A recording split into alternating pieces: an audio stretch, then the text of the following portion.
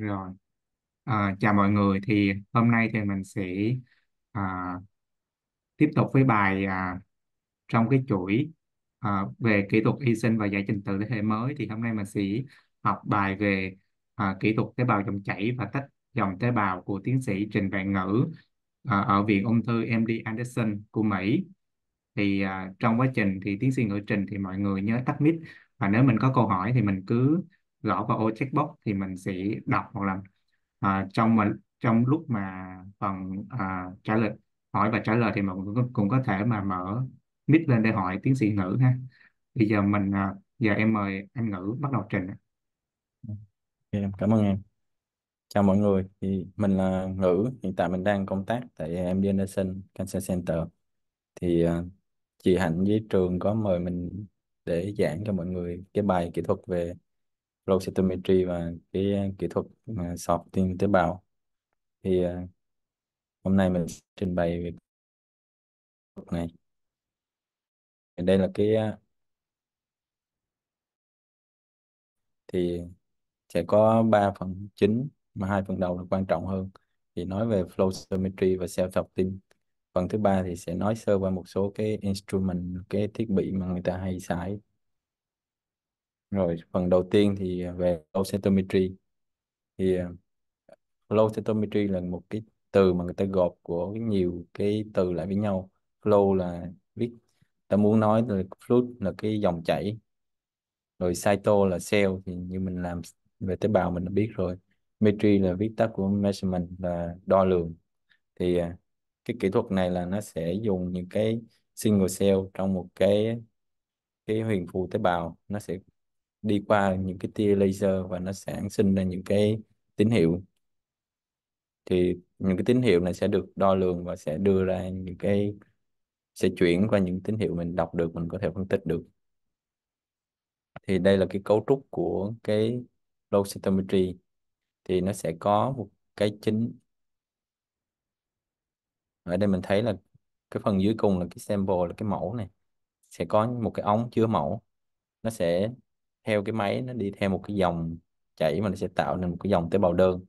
Thì ở đây thì cái tia laser nó chiếu qua, nó sẽ chiếu qua cái tế bào và nó sẽ được những cái tín hiệu này, nó được những cái detector, nó nó nhận diện và nó sẽ chuyển qua những cái tín hiệu mình có thể đọc được. Rồi những cái tế bào mà đã được phân tích thì nó sẽ đi đi ra ngoài và theo nó ra một cái cái bình chứa khác, là cái à, giống như cái waste thì ở đây là một cái ví dụ của cái phân tích flow cytometry. Ví dụ người ta nhuộm những cái marker của những tế bào miễn dịch, ví dụ là CD3 hoặc CD19 thì từ đây người ta có thể phân tích được tế bào T cell hoặc B cell. Thì à, ở đây một cái hình mà mình thường thấy trong phân tích tế bào máu, thì người ta sẽ xài những cái cái giá trị đo lường, ví dụ như FSC hoặc là SSC ở đây, thì phần sau mình có thể nói rõ hơn. Thì người ta có thể phân biệt được những cái quần thể tế bào riêng biệt chỉ dựa vào cái kích thước và cái độ mức độ hạt phức tạp của cái tế bào người ta có thể chia là quần thể tế bào ví dụ lymphocyte, monocyte hoặc granulocyte. Rồi ở đây thì à, mình nên nhớ là cái máy flow cytometry như lúc nãy mình nói là nó chỉ phân tích được những cái dòng chảy tế bào đơn. Thì những cái mô mà solid mô rắn một cục đó thì nó sẽ không phân tích được. Thì để phân tích được những cái mẫu này thì mình phải giống như mình phải digest nó ra bằng những cái phương pháp vật lý hoặc là xài enzyme để nó ra những cái quần cái huyền phù tế bào. Thì từ đây thì máy nó mới tạo ra được cái dòng tế bào để nó phân tích. Thì ở đây thì một số cái, những cái kỹ thuật mà để tạo những cái huyền mà mình thường thấy. Ví dụ như ở những cái tế bào trong suspension, những tế bào cell, những cái cell line, ví dụ như là tế bào miễn dịch thì khi người ta nuôi cấy trong những cái đĩa thì nó đã ở dạng là à, huyền phù tế bào rồi thì cái này rất là đơn giản. Còn dạng thứ hai là những cái tế bào bám dính là adherent cell. Thì mình cần phải tách nó lên từ những cái đĩa nuôi cấy bằng những cái chip những cái à, enzyme như là trypsin hoặc là xài những cái hóa chất như là ETA rồi đối với những cái cái mô thì mình cần phải digest với những cái enzyme hoặc là bằng vật lý. Thì những cái enzyme ta thường, hay thường xài như là collagenase, display hoặc liberase hoặc là DNA thì ở đây là một số cái phương pháp người ta để tách những cái tế bào từ những cái mô. Thì ở đây cái đầu tiên là máy này thì mình cũng thường thấy, ví dụ người ta thu mô để cho vào những cái túp này thì bỏ những cái máy, gắn vô cái máy này thì nó sẽ tự động nó nó nghiền cái mô ra. Thì sau khoảng cái thời gian người ta set up thì mình được một cái dung dịch thì nó sẽ chứa những hoặc là cái thứ hai là mình có thể xài những cái như là syringe mình sẽ để hút và thu những tế bào thì mình sẽ xài những cái loại filter phía dưới để mình thu những tế bào đơn. Ờ, còn cái hình thứ ba thì người ta giống như ta muốn ví dụ là kết hợp cả vừa cái vật lý và xài enzyme để tách ra những cái tế bào đơn. Thì à, phía dưới đây là một số những cái loại filter người ta thường xài để thu tế bào thì cái này thường người ta hay gọi là cell strainer. Thì nó sẽ có những kích thước khác nhau. Ví dụ như là 45 micromet hoặc 70 micromet. Thì tùy vô cái kích thước tế bào người ta muốn phân tích cỡ nào. Hoặc là những cái cái tube này thì để chạy flow cytometry nhưng mà có loại tube nó sẽ có cái nắp và nó sẽ có cái filter phía trên. Thì cái này mình có thể bypass mình đưa mẫu nó đi qua cái filter này, nó chạy vô cái tube này rồi sau đó mình lấy cái tube này mình trực tiếp mình chạy luôn. Rồi thì uh, sau đó để phân tích những cái mẫu mà ví dụ như nó có những quần thể tế bào mình rất là ít thì người ta có thể là enrichment là làm giàu cái quần thể tế bào lên bằng một số cái phương pháp khác như là à, sọt tin tế bào bằng từ tính hoặc là người ta xài những cái ly tâm đặng tỷ trọng bằng cái percol hoặc phycol để người ta làm giàu quần thể tế bào đó lên trước khi người ta phân tích thì nó sẽ ra kết quả tốt hơn. Rồi đây là cái slide người ta sẽ nói lên những cái size mà cái máy flow cytometry nó có thể, nó có thể phân tích được những cái hạt rất là nhỏ. Ví dụ từ 0.03 micromet. Rồi tới những cái lớn như là những tế bào miễn dịch ví dụ như là mười mấy hoặc là 50 micromet thì nó có thể phân tích được hết. Rồi, trong cái quá trình chuẩn bị mẫu thì mình cũng phải quan tâm đến một vấn đề nữa là cái khi mình nhuộm cái kháng thể lên tế bào thì à, kháng thể nó có thể bắt được hay không? Thì ở đây nó sẽ có ba cái loại mà mình cần lưu ý. Đó là những cái protein mà nó biểu hiện ở cái vùng ngoài tế bào hoặc là những cái à, như là bề mặt tế bào, hoặc là extracellular protein. Thì ở đây mình chỉ cần Ờ, phân tích uh, tạo thành những cái tế bào đơn sau đó mình trực tiếp mình nhuộm với những cái kháng thể. Thì mình có thể là fit tế bào để cố định nó rồi mình nhuộm trực tiếp kháng thể lên. Thì mình có thể phân tích được. Thì cái bước ờ, fit tế bào này thì là optional thôi. Thì cái này nếu mình phân tích trong thời gian ngắn thì mình có thể trực tiếp mình lấy tế bào mình nhuộm rồi mình phân tích luôn. Còn nếu mình muốn giữ tế bào giữ tế bào trong một thời gian lâu thì mình nên fit để nó cố định lại cái điều kiện, cái tế bào lúc đó. Thì sau đó mình phân tích thì nó sẽ tốt hơn. Rồi một cái dạng nữa là những cái protein mà ở trong tế bào, ở cái cytoplasmic thì những cái tế bào này khi mình trực tiếp mình nhuộm thì kháng thể nó không có đi vô trong tế bào được. Thì người ta sẽ cần những cái bước như là fit và người ta phải permeabilization, tức là người ta đục những cái lỗ ở màng tế bào, thì từ đó những cái kháng thể nó có thể đi vào trong cytoplasmic và nó sẽ nhuộm được. Rồi sau đó người ta lấy tế bào này, người ta đi phân tích. Rồi một dạng nữa thì à, nó cũng là ở trong tế bào, nhưng mà cái, những protein nó ở trong nhân. Thì ở đây thì người ta sẽ xài cũng cần cái bước fit và permeabilization. Thì cái này nó sẽ cần những cái chất mà nó đục lỗ, nó có tính mạnh hơn thì nó sẽ đục luôn cái màng, tế bào và cái màng nhân. Thì từ đó những cái kháng thể mới bắn, bắt vô được những cái protein trong nhân và sau đó mình nhổ thì mình mới thấy kết quả. Thì ở đây cái ờ, flow cytometry cái quan trọng của nó là mình lựa những cái kháng thể mình nhuộm lên tế bào. Thì ở đây nó sẽ có hai cái dạng nhuộm, đó là nhuộm trực tiếp cái kháng thể hoặc là nhuộm gián tiếp. Thì trực tiếp thì mình chỉ xài một cái kháng thể nó có gắn những cái chất bình quang hoặc những cái đai thì à, gắn lên tế bào thì mình có thể phân tích được trực tiếp luôn. Còn đối với cái loại indirect hoặc là gián tiếp này thì mình sẽ thông qua một cái primary antibody, nó nó bắt lên cái protein mình cần phân tích trên tế bào. Sau đó mình sẽ dựa vào một cái secondary antibody, nó gắn những cái à, chất phát màu thì nó sẽ bám vô cái primary antibody đó. Nó rồi sau đó mình sẽ phân tích những cái tín hiệu từ cái secondary antibody này. Thì hai cái phương pháp này thực ra nó nó có khác biệt. À, cái direct này thì mình thấy là cái tín hiệu nó chỉ từ một cái kháng thể thôi. Những cái chất màu này mình thấy trên kháng thể ví dụ nó ở đây người ta ví dụ có bốn cái màu bốn cái cái cục màu vàng rồi ở cái phần indirect này mình thấy là cái secondary antibody là nó sẽ rất là nhiều và mỗi cái kháng thể nó có bốn thì cái tín hiệu khi mà nó gắn lên cái primary antibody nó sẽ mạnh hơn trực tiếp này. Nên mỗi cái nó sẽ có cái ưu điểm riêng. Cái direct thì nó khá là nhanh. Mình chỉ bỏ trực tiếp cái kháng thể lên, tế bào nó nó nhuộm luôn. Còn cái indirect là mình phải nhuộm cái primary trước, sau đó mình bỏ cái secondary antibody. Nhưng mà cái này thì tín hiệu nó mạnh hơn. Nó hơi mất thời gian hơn rồi, đây là một cái ví dụ mà khi mình nhuộm lên tế bào. Ví dụ ở đây mình nhuộm lên tế bào trong cytoplasmic hoặc trong nhân, nhưng mà người ta không có fit hoặc là cơm cái tế bào hoặc là đục lỗ tế bào thì mình thấy này ở đây người ta cho ví dụ là trước khi và sau. Thì mình thấy ở đây khi người ta nhuộm lên cái kháng thể thì nếu mà không đục lỗ tế bào thì hầu như những tín hiệu positive nó khá là yếu. Nhưng mà khi người ta thực hiện cái bước đó là cố định tế bào và người ta đục lỗ tế bào thì kháng thể nó có thể bắt được vô tế bào và mình thấy là cái cái quần thể tế bào dương tính nó thay đổi cách rõ ràng, tức là kháng thể nó bắt vô được. Nên khi mình làm flow cytometry thì mình cần phải biết là cái protein mình cần phân tích nó nằm ở bề mặt tế bào hoặc là trong tế bào thì nếu mà ở trong thì mình cần phải có cái bước là cố định hoặc là permaline tế bào. Rồi, đây là một số những cái ứng dụng thường thấy của flow cytometry thì cái mình thường thấy nhất là nhuộm những cái antigen bề mặt. Ví dụ như hầu hết những cái phân tích tế bào máu thì người ta sẽ nhuộm với những cái kháng thể bề mặt này. Thì nó khá là nhanh.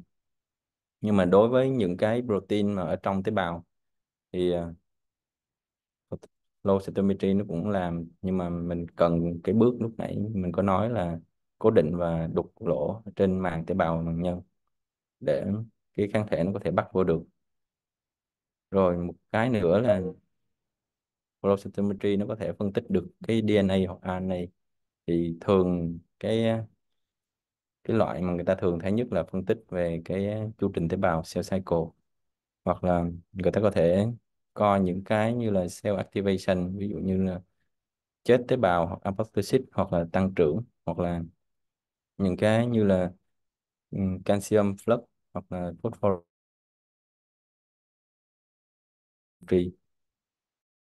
Có thể phân tích được những cái như là cái protein protein interaction. B complementation. Thì phương pháp này thật ra có làm nhưng mà so với những cái kia. Rồi một cái nữa đơn giản nhất mình có thể xài đó là mình, khi mình không đếm được thì mình có thể bỏ những cái máy flow cytometry nó có thể đếm được tế bào một cách đơn giản và nhanh nhất. Thì đây là cái cấu trúc của cái máy flow cytometer lúc nãy mình có nói sơ thì nó sẽ có những cái phần là fluidic, là nó phần dung dịch thì nó sẽ cần cái dung, cái mẫu trong cái huyền phù, sau đó máy nó sẽ hút lên thành những dòng tế bào đơn và nó sẽ phân tích. Thì cái phần thứ hai là cái phần optic, là cái phần về, ví dụ như laser filter để nó ra những cái màu riêng biệt. Thì đây là một phần cũng khá quan trọng trong cái máy low cytometer. Thì cái laser này sẽ, nó sẽ có nhiều cái laser ở cái, những cái à, phổ khác nhau. Thì những cái phổ khác nhau nó sẽ đưa ra những cái màu khác nhau. Từ đó người ta có thể kết hợp được nhiều màu lại. Thì thường trong cái flow cytometry người ta sẽ quan tâm là cái máy đó có thể phân tích được bao nhiêu màu. Thì ví dụ như phân tích bốn màu thì mình có thể phân tích được bốn mặt cơ cùng lúc. Hoặc là 6 màu hoặc 10 màu thì mình có thể kết hợp với nhiều cái cái mặt cơ trong cùng một mẫu đó. Rồi cái electronic là những cái tín hiệu mà mình, cái máy nó mình có thể mình hiểu được thông qua những cái biểu đồ mà máy nó, nó xuất ra. Rồi ở đây là cái phần đầu tiên thì thường mình sẽ thấy là nó sẽ có những cái phần là set là cái phần dung dịch mà cái máy nó sẽ hút vào để nó làm cái cái mẫu mình thành những cái dòng chảy. Rồi sau khi mình hút hết cái mẫu xong nó sẽ đưa ra cái phần nó sẽ cần một cái dung dịch nó chảy qua máy và nó sẽ đưa ra một cái thùng, đó là đựng cái cái nước thải. Thì đây là một số cái ví dụ của những cái cái phần fluidic của những cái máy khác nhau. Thì đây là cái cấu trúc của cái phần à, flow cell. Thì thường mình sẽ hay thấy nhất là một cái máy nó sẽ có một cái ống kim loại dài kiểu này thì nó gọi là sample injection tube thì cái này cái ống kim loại này nó sẽ mình sẽ gắn cái mẫu mình lên cái phần ống này. Thì cái cái máy nó sẽ hút cái dòng tế bào lên lên trên này. Rồi từ đó những cái tia laser nó đi xuyên nó chiếu qua cái cái dòng chảy tế bào đó. Này, đây là ví dụ này. Đây là mình thấy cái mẫu là ví dụ một cái ống. Đây thì khi mà cái tế bào nó theo cái máy thì nó sẽ tạo thành những cái dòng tế bào đơn. Rồi phần phần optic và phần về những cái laser thì mình chỉ nói sơ qua thôi. Là ví dụ như ở đây mình thấy là người ta ví dụ những cái laser, ví dụ màu màu UV hoặc là màu đỏ thì khi mà nó sẽ có những cái bước phổ khác nhau thì tùy những cái kháng thể, những cái chất màu mà mình gắn vô cái kháng thể thì nó sẽ ra những cái màu khác nhau tùy vô cái filter mình, cái máy nó có thì mình sẽ đọc được những cái màu khác nhau rồi, ở đây là một cái mà mình thường thấy nhất, đó là khi một cái tia laser nó chiếu qua tế bào thì nó sẽ cần cái thời gian nó đi qua tế bào. Thì cái này, cái điện thế mà nó nó hiện lên ở trong cái biểu đồ thì mình biết được cái thời điểm của tế bào. Ví dụ ở đây là trước khi cái tế bào nó đi qua cái tia laser thì cái thời gian nó ở lúc đầu này. Rồi khi mà tế bào nó bắt đầu nó đi qua cái tia laser thì thời gian nó nhiều hơn. Thì rồi khi mà tế bào nó vượt qua được cái tia laser thì bắt đầu cái thời gian nó giảm xuống. Thì mình thấy cái điện thế này nó sẽ đi theo cái, cái chiều đó. Rồi đây một cái biểu đồ mà thường thấy trong cái flow cytometry thì mình thấy ở trong cái biểu đồ này sẽ có ba cái phần người ta hay xài nhất. Đó là cái hai là cái chiều cao của cái tín hiệu. Rồi y là cái chiều rộng của tín hiệu. Và từ chiều cao với chiều rộng thì người ta sẽ tính được cái cái diện tích của cái vùng đó là cái area. Thì à, ở đây thì thường khi mà chạy máy thì nó cũng sẽ hiện cho mình những cái, ví dụ như ở đây là AHW thì nó viết tắt của cái area 2 hoặc Y này.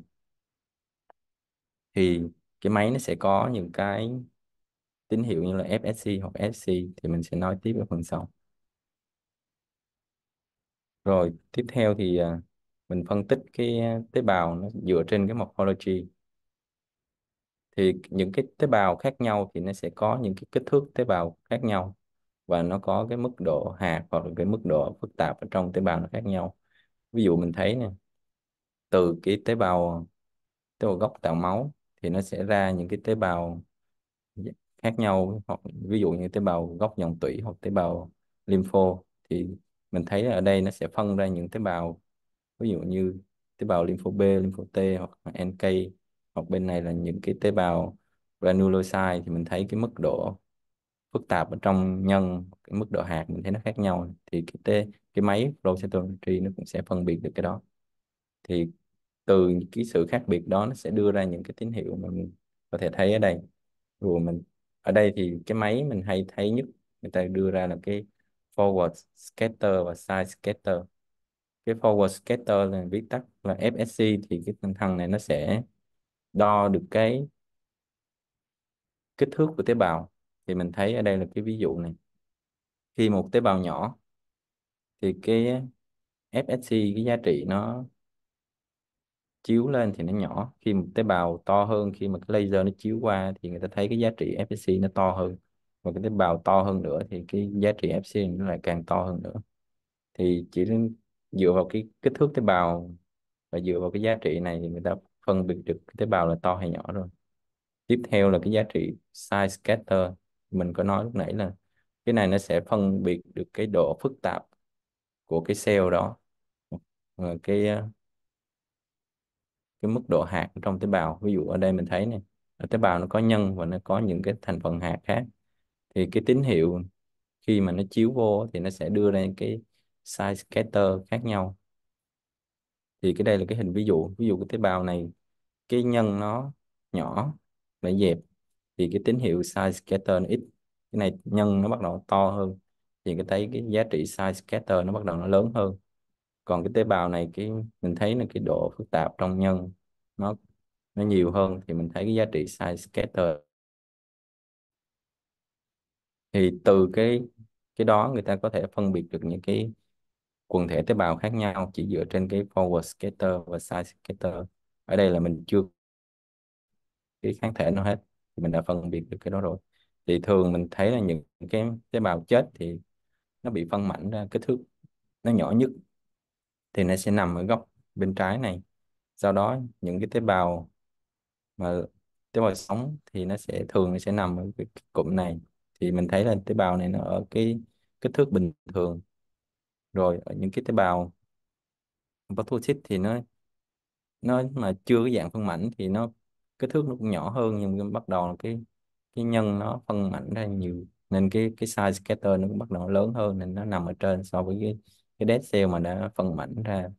Rồi, mình thấy một cái cụm tế bào nữa là khi những cái tế bào mà nó kiểu như nó bị lâm hoặc là dính với nhau thì cái giá trị forward scatter nó sẽ lớn hơn nên nó sẽ nằm ở phía bên này. Rồi, đây là một cái biểu đồ mình thường thấy khi mình phân tích tế bào máu. Thì mình biết là những cái tế bào lymphocyte thì cái thước nó nhỏ và cái mức độ hạt nó thấp. Những cái tế bào monocyte thì nó bự hơn và mức độ hạt nó cũng thấp. Nhưng những cái tế bào granulocyte thì nó vừa bự nhưng mà cái mức độ hạt nó cao hơn nên từ cái biểu đồ này người ta có thể dự đoán được cái quần thể nào là cái quần thể người ta đang phân tích. Dù cái màu đen này thường là những cái tế bào mà nó bị chết hoặc phân mảnh thì nó sẽ nằm ở góc này. Tế bào xanh lá thì tế bào máu thì thường nó là những cái tế bào lympho hoặc là cái khúc màu xanh da trời này thường là cái quần thể tế bào monocyte hoặc là ở trên cùng là thường là những cái granulocyte. Thì mình chỉ cần dựa vô cái này mình có thể uh, gây tin là được những quần thể tế bào mình mong muốn. Rồi, tiếp theo mình nói tới là một cái là mình phải cái tế bào nó bị dính với nhau hoặc là doublet thì mình thấy là khi mà một tế bào nó phân, nó đi qua cái tia tia sáng thì nó sẽ có một cái như nãy mình nói là cái hai và cái y. Thì những cái tế bào dính với nhau thì hai tế bào mà nó dính với nhau thì cái chiều rộng của cái tín hiệu nó sẽ thường nó sẽ lớn hơn hoặc nó có thể gấp đôi so với cái tế, tế bào đơn. Thì cái này nó sẽ làm thay đổi cái giá trị của cái tín hiệu phát ra. Hoặc là khi mình nhuộm một cái kháng thể ví dụ hai tế bào mà một tế bào dương tính một tế bào mà không âm tính mà hai tế bào nó là dính nhau thì cái máy nó sẽ phát hiện là uh, cái cụm đó là dương tính. Thì khi mình đọc kết quả nó lại sai. Nên cái người ta rất là quan tâm trong cái flow cytometry là mình phải loại được những cái tế bào mà doublet hoặc là tế bào dính với nhau thì ở đây mình show ra một số ví dụ để người ta có thể loại ra cái doublet thì à, thường mình biết là cái cái hai này nó sẽ giống nhau so với ở tế bào đơn hoặc là tế bào cụm. Nhưng mà cái y này, khi mà cái y của tế bào đơn nó sẽ nhỏ hơn so với những tế bào cụm hoặc là doublet thì mình thấy khi mà cái y nó tăng lên thì cái cái diện tích cái vùng phía dưới, cái tín hiệu nó cũng cao hơn. Nên thường người ta sẽ dựa vào một số những cái giá trị là h là là hai hoặc là area. Thì những cái area nó bự hơn, thường nó sẽ nằm ở phần này thì người ta có thể loại được cái những cái tế bào ở dạng doublet thì người ta cũng có thể xài là cái y hoặc cái area để người ta loại được cái doublet thì nó sẽ nằm ở phần này. Hoặc người ta có thể xài cái y hoặc cái hai thì cũng có thể loại được những cái doublet thì khi mà người ta phân tích á, thì mình chỉ gây những cái phần mà tế bào ở đây là tế bào đơn hoặc thường người ta có thể gọi là singlet thì mình chỉ gây là cái phần tế bào đó thôi. Để anh phân tích thì cái tín hiệu nó sẽ không bị sai hoặc là dương tính giả. Rồi một cái quan trọng nữa nãy giờ mình có nói là khi mình làm flow cytometry mình sẽ thường mình sẽ nhuộm tế bào bằng những cái kháng thể. Ví dụ ở đây người ta nhuộm tế bào T, và người ta muốn, ví dụ tế bào này nhuộm với CD3 thì trong một cái kháng thể này nó sẽ gắn những cái chất phát màu hoặc là hình quang.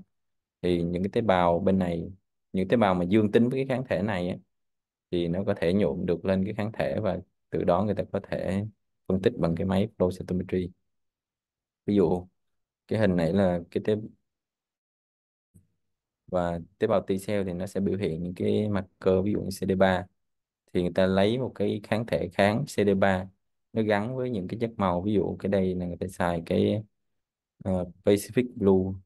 Thì cái thằng này nó có thể phát hiện bằng cái uh, cái detector của cái máy flow cytometry thì từ đây người ta có thể đem cái cái cái hỗn hợp mà người ta đã nhuộm với cái tế bào này, người ta đem bỏ vô cái máy flow cytometry để người ta phân tích. Rồi một cái mà người ta quan trọng nữa là cái giá trị của cái tia laser, thì người ta và những cái chất màu mà người ta đem đi nhuộm thì là cái excitation, là cái giá trị mà năng lượng nó hấp thu vô.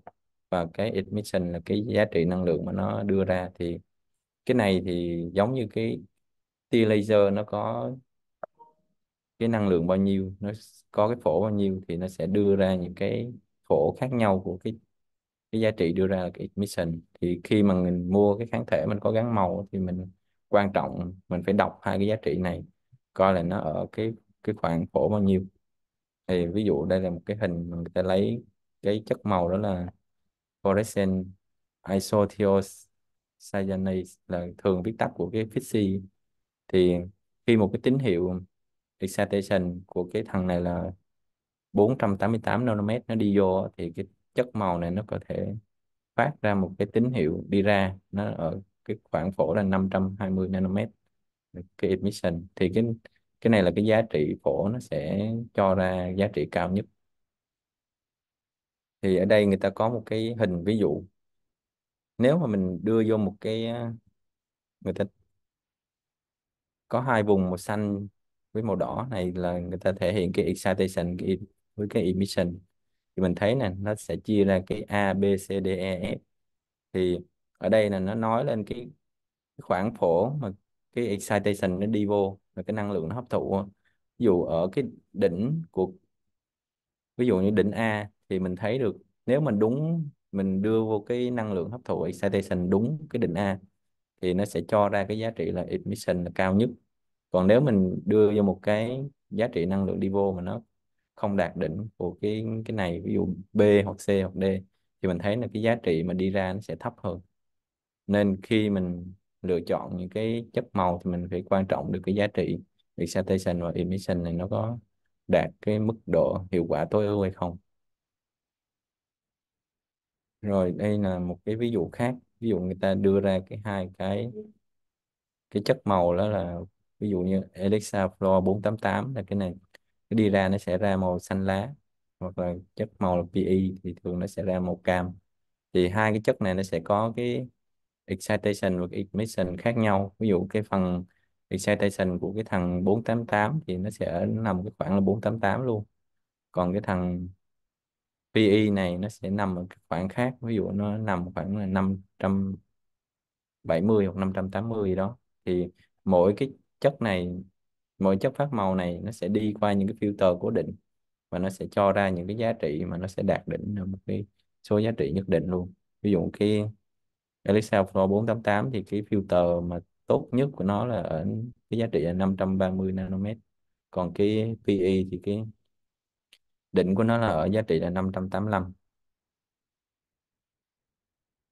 rồi, một cái mình cần lưu ý nữa là khi mình nhuộm với những cái chất huỳnh quang thì mình phải biết được cái cái intensity, tức là cái mức độ mà nó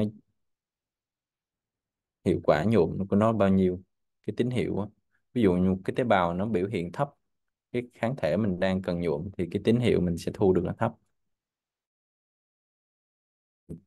Cao hơn xíu thì nó sẽ bắt thì mình thấy được cái giá trị nó sẽ lớn hơn. Đối với những cái tế bào mà nó biểu hiện rất là nhiều cái protein cái mặt cơ mình cần phân tích thì mình thấy cái tín hiệu nó là cao nhất. Thì ở đây mình sẽ có cái ví dụ ví dụ là cái màu nó sẽ bắt được vô tế bào. Một cái ba cái hoặc là năm cái thì nó sẽ cho ra cái mức độ tín hiệu nó sẽ cao thấp khác nhau. Okay, có thể bỏ qua được. Thì cái hình này mình mình muốn nhắc đến là thường trong phân tích flow cytometry thì người ta sẽ coi, người ta hay thường nhắc đến là cái percentage, tức là cái phần trăm dương tính. Ví dụ cái quần thể đó, người ta phần trăm là dương tính hoặc là 90 trăm dương tính. Nhưng mà một cái giá trị khác nữa mình cần quan tâm là cái MFI là cái mean fluorescence intensity. Như mình có nói lúc trước á, ví dụ một tế bào nó biểu hiện mạnh ví dụ cái hình bên phải nó biểu hiện mạnh thì cái giá trị mean fluorescence intensity nó sẽ cao hơn so với những tế bào nó biểu hiện yếu hơn. Thì mình coi đây nè cái biểu đồ ở dưới là đều là hai cái tế bào dương tính hết nó bắt được cái kháng thể mà có Fixi hết.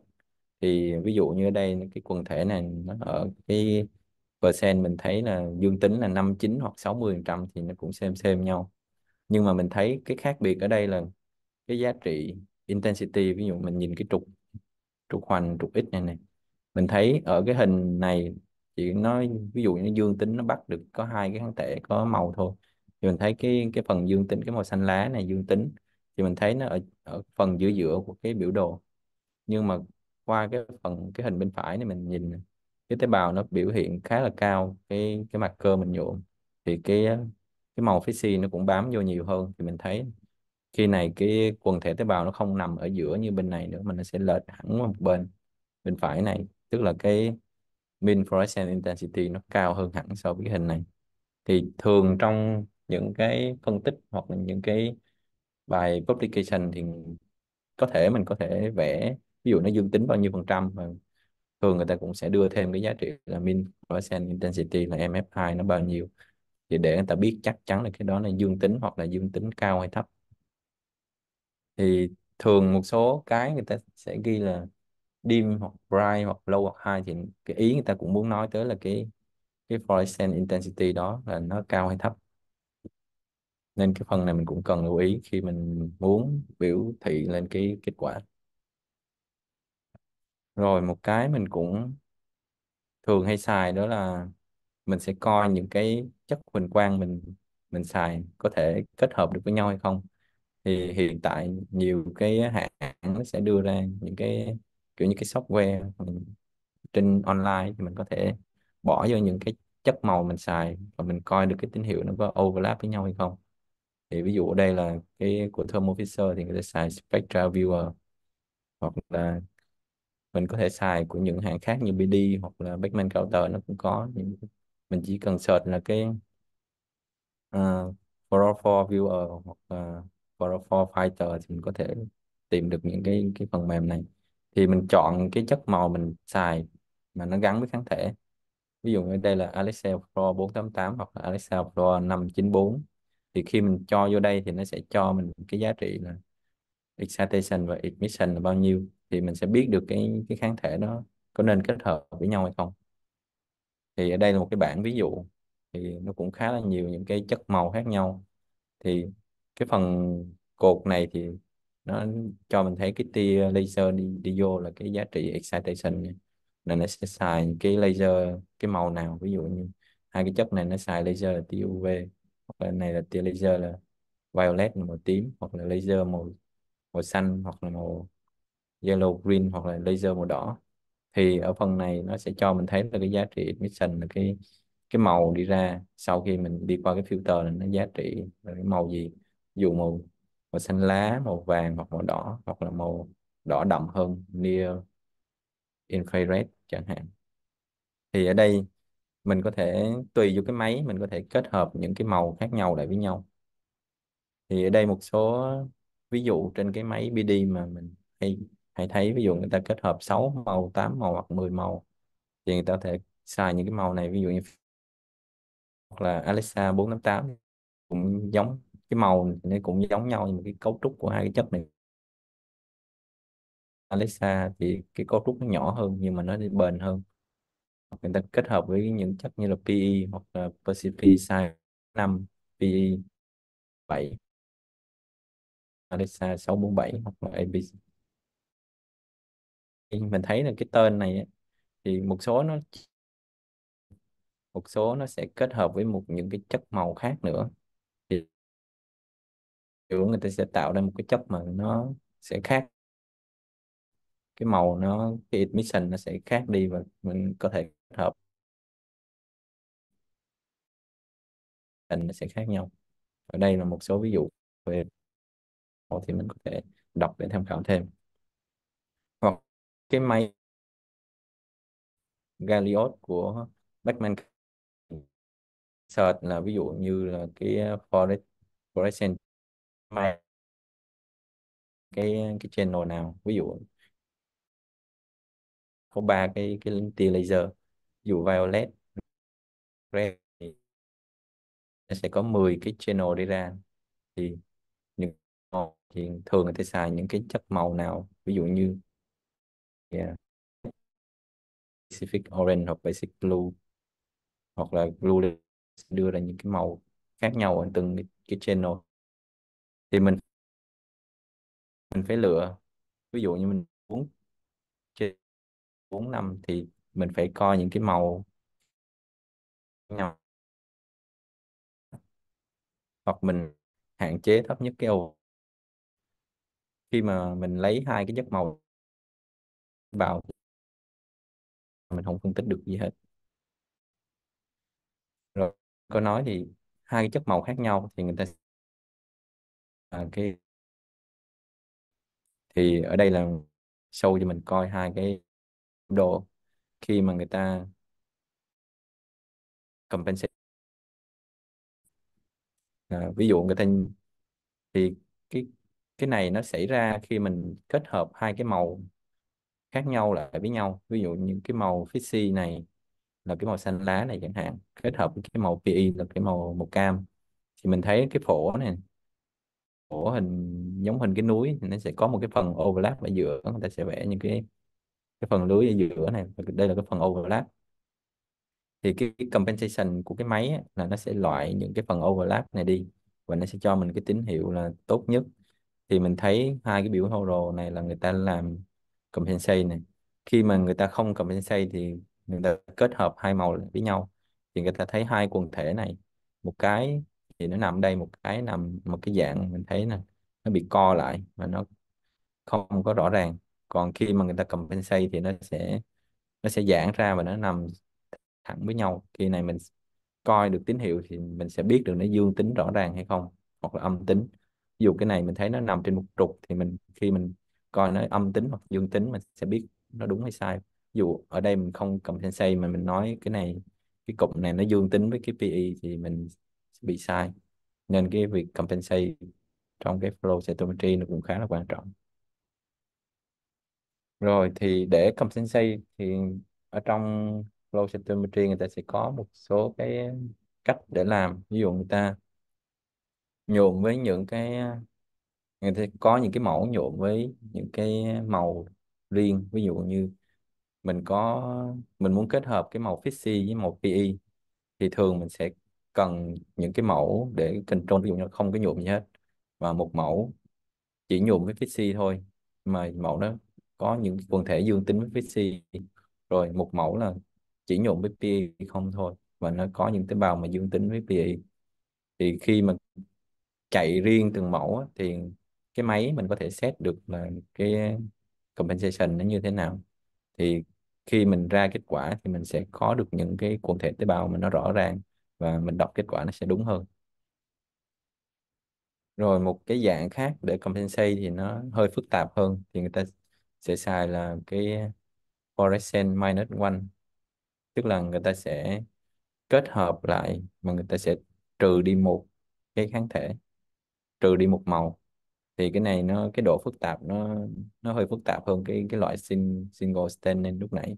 Ví dụ ở đây mình có ba màu là Fixie PE với size 5.5 PE thì mình sẽ có cái mẫu là Unstained rồi mình sẽ có một cái mẫu MF, FMO Control mà chỉ không có cái PE thì chỉ nhuộm hai cái màu này thôi. Rồi mình sẽ có những cái cái mẫu em FMO Control khác mà nó chỉ có cái màu P và cái size 5.5 này thôi mà không có cái PC này. Rồi tương tự là chỉ có cái cái này PC PE mà không có size 5.5 và một mẫu là mình nhuộm hết tất cả. Thì từ đó người ta có thể compensate nó tốt nhất nhưng mà cái loại này nó khá là phức tạp. Thì tùy một số cái máy hoặc là một số core facility người ta sẽ bắt buộc mình mình xài cái dạng nào. Nếu mà đơn giản thì chỉ cần làm single staining để mình compensate thì ok. Còn một số core thì người ta bắt mình phải có cái fluorescent minus one này thì mình phải làm nó phức tạp hơn. Thì tùy cái kỹ thuật viên ở mỗi chỗ thì người ta yêu cầu khác nhau.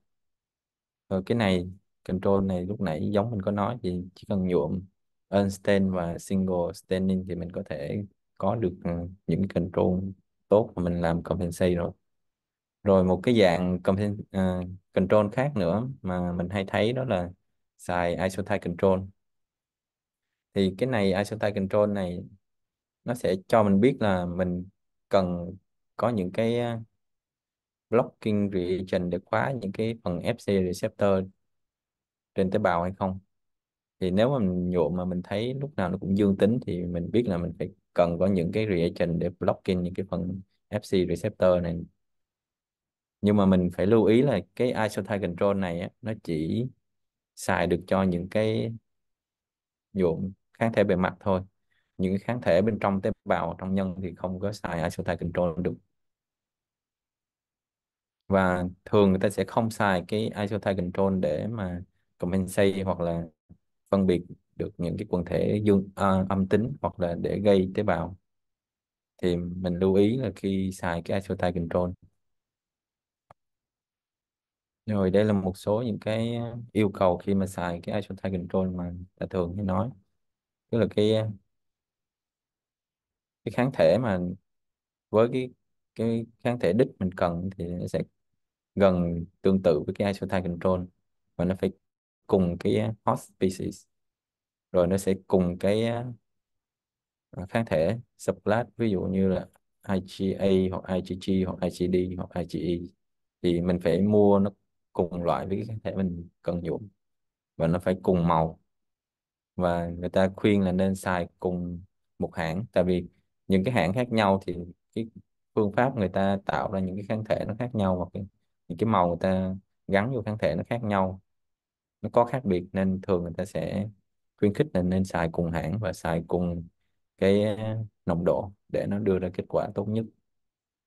Rồi đây là phần tiếp theo thì đây là cái phần về cái data nó sẽ hiện ra như thế nào trên cái máy ờ, flow cytometry thì ở đây mình sẽ thấy nó sẽ có những cái dạng biểu đồ khác nhau. Ví dụ như histogram thì mình thấy nó dạng như cái như cái đỉnh núi này này thì đó là dạng histogram. Rồi cái dạng dot plot là những cái chấm chấm chấm này thì ờ, những cái chấm này thì khi mà tế bào nó chạy qua máy nhiều thì nó sẽ nằm ở những cái vùng cố định, tùy vô cái ờ, forward scatter và cái side scatter là cái kích thước tế bào và cái mức độ hạt của tế bào thì người ta cũng phân biệt được những cái quần thể tế bào khác nhau. Hoặc là cái dạng khác người ta xài như là culture plot thì nó sẽ dạng tròn tròn này. Thì nếu mà cùng quần thể tế bào thì thường người ta sẽ khoanh cùng một kiểu này. Ví dụ ở đây ba quần thể tế bào khác nhau thì nó sẽ người ta sẽ có ba cái khoanh khác nhau thì mình sẽ phân biệt được. Rồi cái density plot thì trong cùng một quần thể tế bào mình sẽ thấy là ở đây nó sẽ có những cái màu khác biệt. Ví dụ như chỗ nào mà tế bào nó tập trung nhiều nhất thì nó sẽ cái màu có thể là đậm hơn hoặc tùy cái cái phổ màu mà người ta xài trong này. Ví dụ như xanh lá hoặc vàng hoặc đỏ thì mình sẽ biết được cái, cái khúc nào là sẽ nhiều tế bào nhất. Rồi một cái nữa là kích tế bào uh, cái giá trị của flow cytometry thì người ta có thể biểu diễn ở cái dạng là linear scale ví dụ như năm à, một năm mươi một trăm trăm rưỡi hai trăm này chẳng hạn. Hoặc là người ta có thể xài là cái logarit ví dụ như ta lấy log lên rồi thì thường nó sẽ biểu hiện mình ví dụ như là 10 mũ mấy rồi cái dạng by scale này nó cũng tương tự với cái cái dạng này rồi, ở đây là một cái ví dụ mà khi người ta nhuộm trên tế bào, người ta gây là để tìm ra những quần thể mà người ta mong muốn. Ví dụ ở đây người ta muốn so sánh hai cái quần thể tế bào, ví dụ U2OS ở cái white type và U2OS người ta gắn cái AFP lên cái actin này. Thì mình thấy nè đầu tiên người ta sẽ chọn những cái quần thể tế bào chính trước sau đó người ta sẽ thu những cái, gây lên những cái quần thể tế bào mà ở dạng là single cell. Rồi sau đó người ta sẽ coi những cái tế bào sống. Có thể người ta nhuộm Dabi hoặc là người ta nhuộm PI để người ta coi quần thể tế bào nào sống. Thì tế bào sống thì những cái chất màu, ví dụ Dabi PI nó không nó không đi vô trong, nó không bắt vô nhân được. Nên người ta sẽ chọn những cái quần thể tế bào mà âm tính, thì đó là tế bào sống.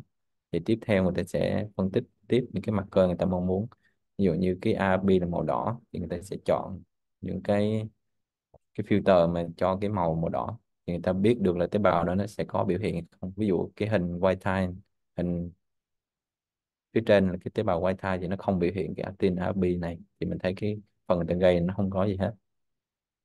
Ví dụ dưới đây mà nó có biểu hiện cái actin mà cái màu đỏ này thì mình thấy cái phần gây này, nó sẽ hiện là ví dụ ở đây là 94.1% tế bào nó biểu hiện cái màu này. Thì đây là một cái ví dụ về gây tin và phân tích kết quả. Rồi đây là một cái ví dụ khác trong cái bài báo thì người ta muốn thu, người ta muốn phân tích tế bào này là macrophage. Thì từ cái quần thể tế bào chính thì người ta sẽ coi tế bào đó monocyte nằm chỗ nào. Sau đó người ta sẽ nhuộm marker là ví dụ như CD68 để người ta coi là những cái quần thể mà dương tính CD68 là những tế bào macrophage. Thì từ tế bào macrophage này người ta muốn coi tiếp là quần thể đó là macrophage type 1 hoặc là type 2 thì người ta có thể nhuộm thêm một số kháng thể khác. Ví dụ như là CD80 là cái marker cho tế bào macrophage loại 1 rồi CD206 là marker cho cái macrophage loại 2 thì người ta có thể biết được là cái mẫu người ta đang phân tích nó là chứa cái quần thể tế bào nào nhiều hơn. Ví dụ đây mình thấy, đây là cái bệnh nhân số 1 thì mình thấy là cái đa số tế bào nó nằm ở cái cái khúc là dương tính với CD80 mà âm tính với CD206 thì mình thấy là nhiều tế bào macrophage loại 1 hơn. Nhưng mà qua cái cái người bệnh nhân số 4 này, mình thấy này, quần thể tế bào nó có thay đổi. Ở cái, ở đây là mình thấy CD80 dương tính, nhưng mà CD206 nó cũng có dương tính luôn nên đây là nó vừa có, mình thấy mình có thể nói là cái à, macrophage loại 2 ở đây nó nhiều hơn so với cái cái mẫu này. Thì tùy vô cái mục đích mình muốn thì mình có thể chọn được những cái kháng thể để mình phân biệt là những cái quần thể tế bào đó. Rồi tiếp theo là những cái ứng dụng khác của flow cytometry thì à, cái hình đầu tiên là phân tích về chu kỳ tế bào. Thì chu kỳ tế bào nó sẽ có những cái chu kỳ khác nhau ví dụ từ G0, G1 rồi S là nó synthesize cái DNA hoặc tế bào qua G, G2 hoặc M thì tế bào nó sẽ lớn và nó phân chia.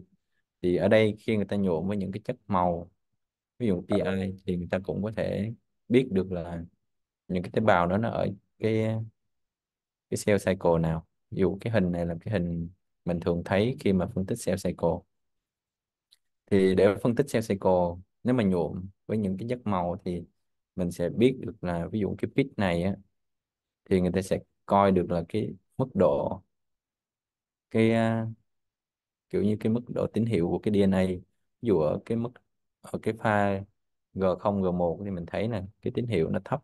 Tức là cái uh, khi mà tế bào nó bắt đầu nó xin synthesize cái DNA thì cái lượng màu nó sẽ có ở đây và khi tế bào nó được nhân đôi thì nó sẽ có những cái pit ở cái, cái phần giá trị này fluorescence này nó cao hơn nữa.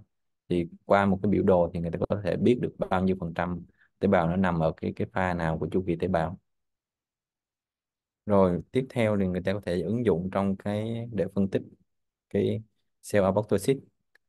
Thì thường người ta sẽ nhuộm với một số những cái chất màu như là annexin V uh, annexin 5 hoặc là cái PI hoặc là PI hoặc có thể người ta xài là cái 7AAD thì nó cũng giống giống nhau. Thì cái những cái tế bào mà early apoptosis thì nó sẽ có khả năng nó bám với những cái annexin file này ở trên màng tế bào.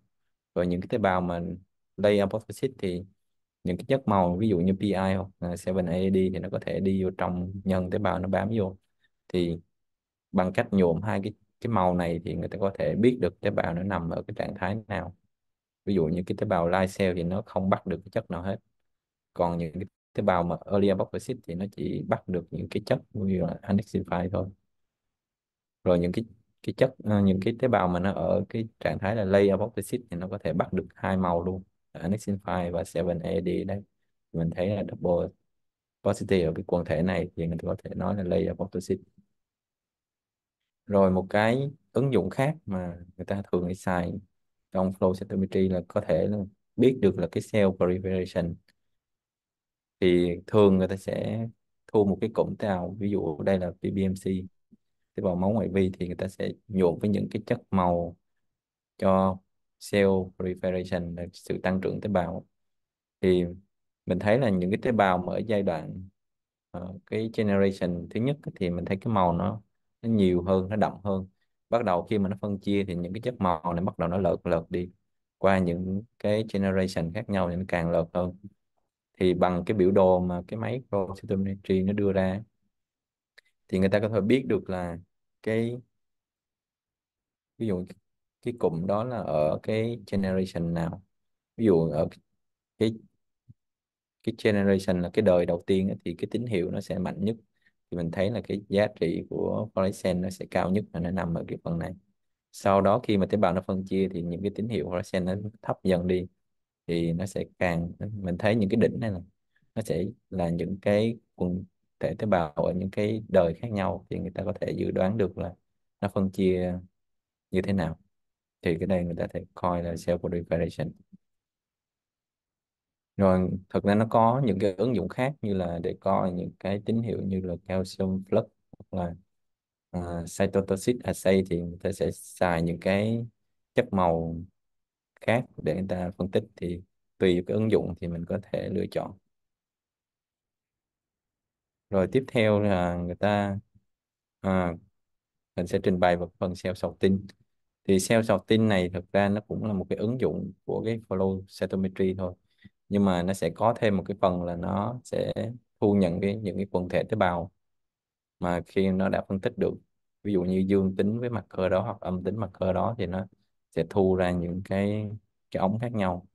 Thì ở đây mình có thể sọt được những cái tế bào ở nuôi cấy hoặc là những tế bào mà từ những cái mô hình động vật mình thu được hoặc là những cái như là DNA RNA protein để mình phân lập ra để mình làm những cái ứng dụng khác ví dụ như coi biểu hiện gen hoặc là sequencing chẳng hạn thì mình cần sort tế bào. Thì ở đây là mình lấy ví dụ trong bài báo thì người ta cũng cần sort tế bào để, để làm những cái phần phía sau ví dụ như là thu máu ngoại vi xong người ta kích thích để thu được những quần thể tế bào ví dụ như NKT và người ta cũng sort là những tế bào NKT sau đó người ta đem đi làm cái này là single cell RNA sequencing thì cái cell sorting thì nó cái cấu trúc của cái máy nó tương tự nó khá giống với cái flow cytometry.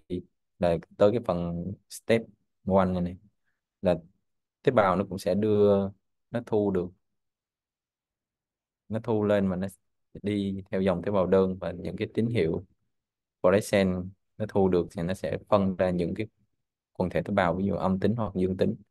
Thì ờ, ở cái máy cell sort tin thì nó sẽ có thêm một cái bước nữa đó là cái phần này nó sẽ tích ra à, nó sẽ có những cái bộ phận để nó kiểu như tích điện cho những cái tế bào mà nó nó phân tích. Ví dụ như nó sẽ có kiểu tích điện ví dụ thu ra những cái quần thể khác nhau. Rồi đây là một cái cấu trúc một cái máy ví dụ là cái sale nó đi ờ, cái phần này là cái phần để tích điện cho cho những cái ờ, cái sale. Khi mà nó đã được phân tích là dương tính hoặc âm tính thì sau đó nó sẽ được đi ra theo những cái ống người ta bỏ ở đây thì người ta có thể thu được những cái sale người ta mong muốn. Thêm mình có nói thêm một số những cái tip để chuẩn bị cái sale. Thì thường để chuẩn bị những cái sale có trong những cái dung mà cái à, FCA để tế bào nó có tốt. Một cái thời gian người ta sọt nếu mình chỉ xài những PPS thì trong, sau một thời gian thì tế bào nó sẽ, ví dụ F rồi trong cái mẫu thì, uh, sọt tin thì thường hoặc là phân tích flow cytometry thì người ta thường ít khi mà xài những trong cái dung dịch mà chứa có chứa phê cái này nó thường nó tạo ra cái autofluorescence và sẽ cho ra những cái tín hiệu dương tính giả.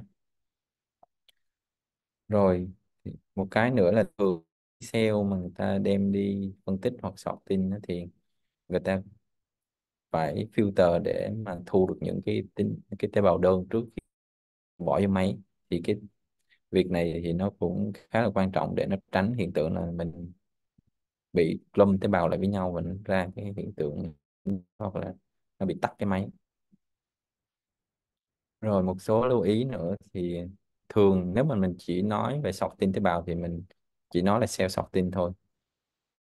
Thì thường là cái cái này giống như cái từ thương mại của cái hãng BD nên nếu mình chỉ nói sale sọt tin thôi thì người ta hiểu là mình chỉ muốn nói tới sale sọt tin, còn mình nói phát thì nhiều người người ta mặc định hiểu là ờ mày sọt bằng cái máy BD nên khi mình viết trong cái report hoặc publication mình lưu ý là phải viết cho đúng.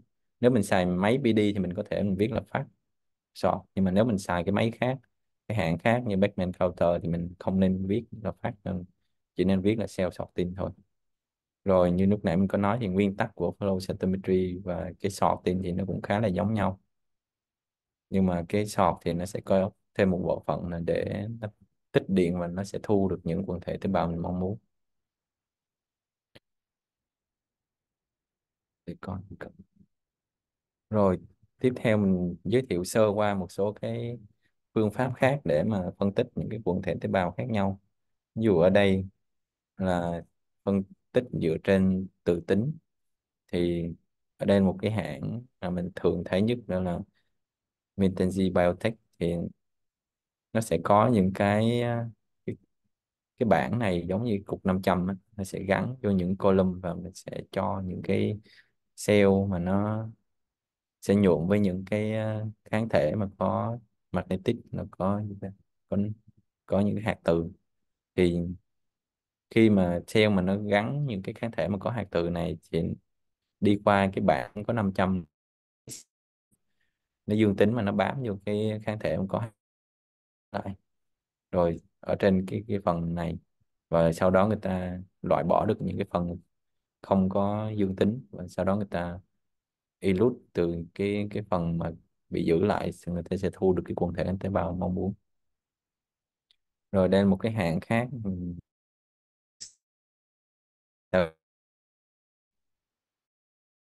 bị khác nhau, thì đây nó nhìn nó khá là đơn giản. Thì một cái cục mẫu tế bào vô, thì cái cơ chế nó cũng tương tự, nó là xài thể mà từ thì nó có thể bị giữ lại. Thì ở cái hãng này thì cái kiểu thì sẽ có là negative selection hoặc là positive selection. Thì tùy vào cái mục đích mình xài thì mình sẽ chọn cái loại kit nào nó phù hợp với cái mình xài. Thì cái mình hay xài thường hay thấy nhất là người ta sẽ thu những tế bào ờ, máu ngoại vi ví dụ T cell hoặc là NK cell thì tùy mục đích thì người ta sẽ chọn lựa cái loại à, cell isolation phù hợp. Rồi phần cuối cùng là mình sẽ đưa mọi người overview là những cái máy mà mình hay thấy nhất. Ví dụ máy phân tích flow cytometer của cái hãng BD thì mình có thể thấy là Excalibur, Canto hoặc là Versailles hoặc là Accuri rồi BD LSA for Tesla hoặc là cái đời này thì cái này nó cũng tương tự với nhau. Thì mỗi máy nó sẽ có cái cái số lượng màu và cái số lượng laser khác nhau. Thì tùy cái chỗ thì mình phải, nếu mình muốn xài để phân tích thì mình nên hỏi anh ta là cái máy đó là máy nào và nó sẽ có những cái laser nào và phân tích được bao nhiêu màu để mình lựa chọn những cái màu mà nó phù hợp để mình kết hợp với nhau. Rồi, đây là một số cái máy mà sọt từ cái hãng BD ví dụ như phát Aria hoặc là đuôi cái rút khác nhau. Rồi đây là cái máy phân tích từ ví dụ như Cytoplex hoặc là Galliot cái số lượng màu khác nhau thì mình, ở đâu thì mình hỏi cái chỗ đó là người ta phân tích được bao nhiêu. Rồi đây một số cái máy mà Beckman Coulter người ta chỉ chuyên cho clinical, tức là nó, người ta sẽ có những cái ờ, panel cố định để người ta làm thì nó sẽ đơn giản hơn. Những cái máy mà research hoặc Moveflow Atrios hoặc là cái Cytoplex Cell Sorter rồi Thermo Fisher nó cũng sẽ có những cái máy ví dụ như là Flow Sorter hoặc là cái máy sorter như là Bigfoot Spectra Cell Sorter rồi bài nói của mình tới đây là hết. Mọi người có câu hỏi gì không? À, có một câu hỏi cho anh là à, nếu mà máy Flow bị nhiễm tín hiệu điện thì cách xử lý như thế nào? nhiễm tín hiệu điện nhiễm tín hiệu điện là có bạn có tiếng Anh không hay là Ờ, bạn Thanh Loan có thể bật mic lên hỏi ờ, Ờ, có thể có giải thích thể nói kỹ hơn được không ạ? Nhiễu tín hiệu điện.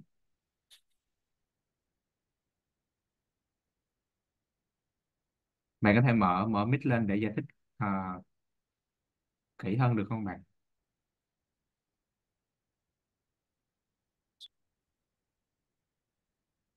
Alo. Dạ alo ạ. Dạ là nhiễu xung tín hiệu điện ạ. Ờ, mình bạn có thể cho mình biết là cái trong cái điều kiện nào mà bạn bị cái đó không thì mình vẫn chưa hiểu cái bạn đang hỏi là cái gì Dạ tức là em không có trực tiếp làm nhưng mà khi đọc thì thấy tín hiệu nó bị nhiễu à, nó không có được rõ ràng ạ. Thì em nghĩ là chắc là do nhiễu tín hiệu điện ạ. Ừm, một một số trường hợp nó có thể xảy ra ví dụ như là cái laser của cái máy đó nó đang bắt đầu có vấn đề là ví dụ nó cái laser nó bắt đầu nó yếu rồi thì thường mình có thể là kêu hãng tới nó coi hoặc nó bảo trì cho mình hoặc là một cái nữa là cái ờ, cái máy nó bị dơ, nên những cái tín hiệu nó không có rõ ràng. Rồi một trường hợp nữa là cái kháng thể của bạn xài, nó cũng, nó, bạn mua trúng cái kháng thể không tốt hoặc là nó hết hạn sử dụng, thì những cái tín hiệu có thể là nó không bắt được vô cell hoặc là nó không rõ nữa thì đó là một số trường hợp mình hay thấy nó xảy ra nhất. Thì nó có nhiều khả năng xảy ra nhưng mà cái dễ nhất là mình có thể check cái kháng thể trước sau đó là mình check cái máy là nó có sạch hay không. Thì mình chạy ví dụ như cái mẫu nước coi là nó có bị những ví dụ như cái những cái dot plot nó background hay không. Nếu mà có thì mình phải chạy với một số dung dịch khác như là uh, bleach. Ví dụ như 5% bleach để nó làm sạch hết cái máy rồi sau đó mình chạy với nước sau đó mình mới chạy cái mẫu của mình. Thì nếu mà nó sạch hết thì cái mẫu nó sẽ ok. Rồi cách thứ cái thứ ba nữa là do cái laser của máy thì cái này mình phải kêu cái hãng nó bảo trì thì ba trường hợp mình có thể thấy thì nó có thể ảnh hưởng tới cái tín hiệu của bạn Dạ em cảm ơn ạ. À, anh Ngữ ơi, cho em hỏi là trong một cái mẫu chạy flow là em thấy nhuộm rất là nhiều kháng thể thì mình nhuộm cùng một lúc các kháng thể đó trên cùng một mẫu hay là mình chia từng chia cái mẫu đó thành nhiều mẫu nhỏ hơn mình để mình nhuộm Ừ. kháng thể rồi mình mới chạy anh tùy cái máy mình đang xài. Ví dụ như em xài cái máy, ví dụ như ở đây bốn màu thì em chỉ xài được là bốn cái kháng thể khác nhau và bốn cái màu gắn với bốn kháng thể khác nhau. Ví dụ cái máy mà có thể phân tích được 8 màu thì mình có thể nhuộm 8 cái kháng thể khác nhau. Hoặc cái máy này 18 màu thì mình có thể nhuộm 18 kháng thể khác nhau. Thực ra mình không cần chia nhỏ, nhưng mà mình quan trọng là mình phải chọn cái kháng thể nó đúng, cái màu nó đúng để khi mà người ta làm người ta có thể compensate để người ta loại ra những cái tín hiệu overlap. Là thì mình khi mà nhuộm em chạy mình nhuộm ví dụ có bốn màu là mình có thể nhuộm bốn cái kháng thể đó cùng một lúc rồi đó mình sau đó mình chạy với máy đó đúng rồi mình có thể nhuộm tối đa là bốn cái. Nhưng mà thường á, một cái người ta sẽ nhuộm với light dead là để phân biệt tế bào sống chết. Nên thường á thường mình thấy là nhuộm với light dead trước là bỏ ra một màu rồi còn ba màu là mình có thể phân tích được ba kháng thể khác nhau. Nhưng mà Ờ, tùy em thôi. Nếu mà em xài cái ờ, giống lúc nãy anh có cái slide mà về cái loại những cái tế bào doublet hoặc là cái phần đầu này nè thì có thể người ta sẽ nhìn làm quen thì người ta thể phân biệt được cái tế bào nó chết. Ví dụ thường nó nằm ở cái cái size nó nhỏ hơn nhưng mà nhuộm nó sẽ là tốt nhất ví dụ người ta nhuộm Dabi hoặc nhuộm PI hoặc là một số hãng nó có những cái solution hoặc những cái agent riêng. Thì nhuộm thêm cái màu đó nữa thì mình phải bỏ ra bớt một kháng thể. Em hiểu ý anh nói không? Dạ dạ. Ok. thì theo nguyên tắc thì mình nhuộm được tối đa của cái máy luôn. Nên dạ em cứ thoải mái mà được chứ mình chia ra ví dụ cái mẫu tế bào đó nó rất là hiếm ít rất là ít tế bào mà mình chia ra thì mình đâu có đủ cell. Nên người ta mới tạo ra những cái máy mà nó có thể phân biệt được nhiều màu nhất có thể dạ. để người ta làm trên những cái mẫu đó. Trong giải phẫu bệnh. Ờ, có một có một câu hỏi của bạn Anh Nguyễn. Thầy có thể so sánh về ứng dụng của flow cytometry và IF trong giải phẫu bệnh được không à, em chưa đọc được nhiều về ứng dụng của flow cytometry trong giải phẫu bệnh. Thường là flow, flow cytometry sử dụng cho huyết học. Ừ. ừ. dạ. Hai cái này thực ra nó nó có khác nhau. Là cái IF á, là thường mình sẽ nhuộm mà mình nhìn được cái tế bào trực tiếp trên kính luôn. Thì người ta sẽ biết được là cái morphology của tế bào nó rõ ràng nhất hoặc là cái kháng thể đó nó bắt ở đâu trên tế bào. Thì theo mình thấy là giải phẫu bệnh thì người ta sẽ vẫn thích xài cái cái immunofluorescence hơn. Dạ à, đúng rồi. thì tại vì người ta thấy được rõ ràng trên kính và người ta phân biệt được đó là nó như thế nào. Còn cái flow cytometry thực ra người ta chỉ dựa trên cái biểu đồ mà người ta coi được nó quần thể nó là cái quần thể nào thôi chứ nó không rõ ràng về hình dáng rồi đặc điểm như là cái immunofluorescence với, nhưng mà hai cái mình đều biết là cái tế bào nó có dương tính hoặc là âm tính ờ, với cái cái kháng thể với cái mặt cơ mình cần mong muốn hay không. Nhưng mà tùy vô cái mục đích mình sử dụng thôi.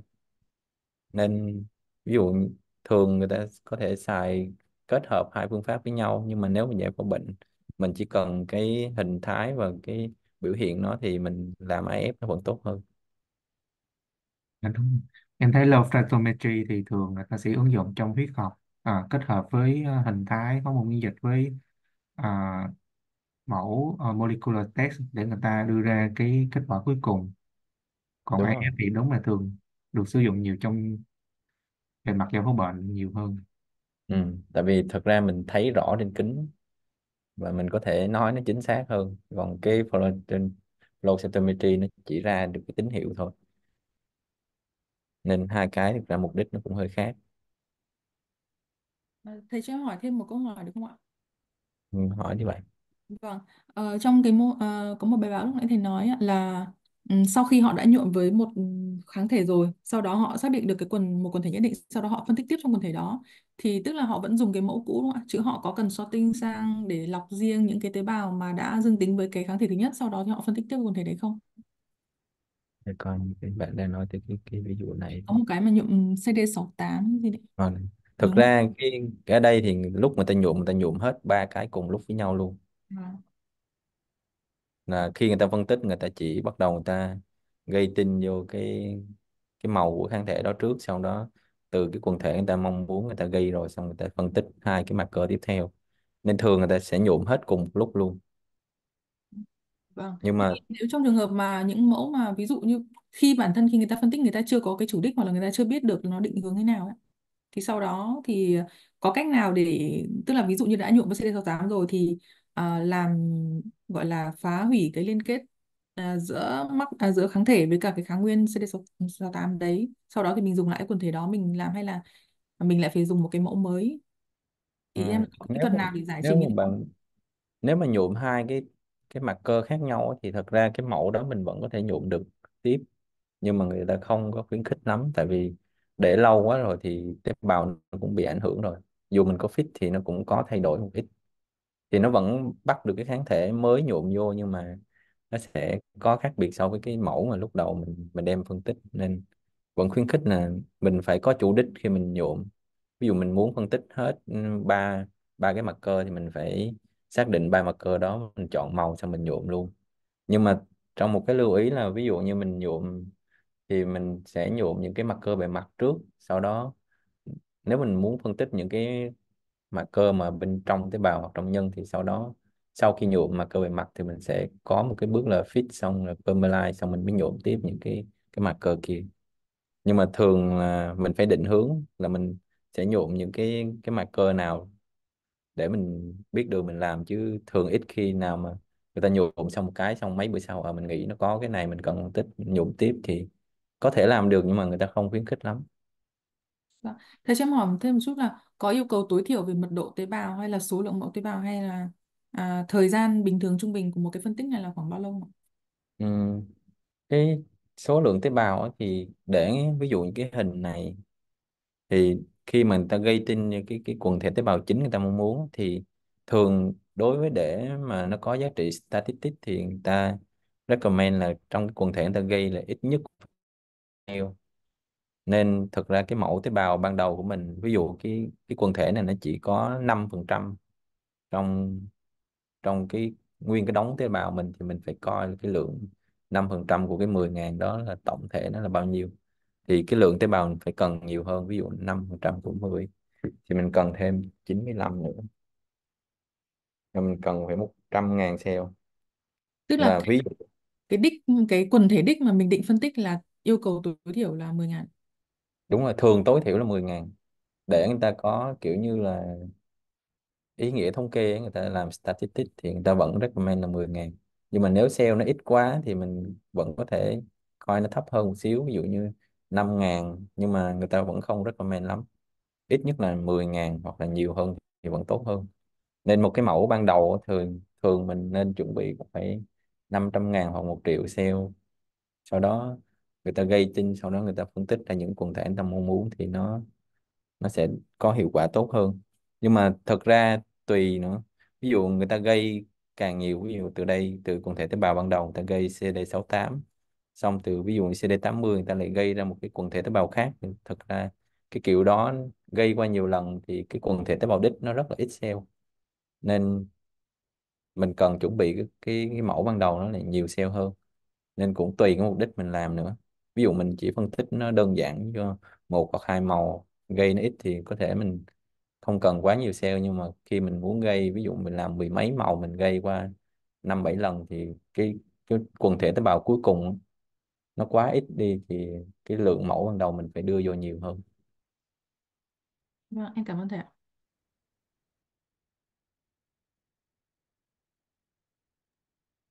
Không biết ừ, có câu hỏi nào nữa không?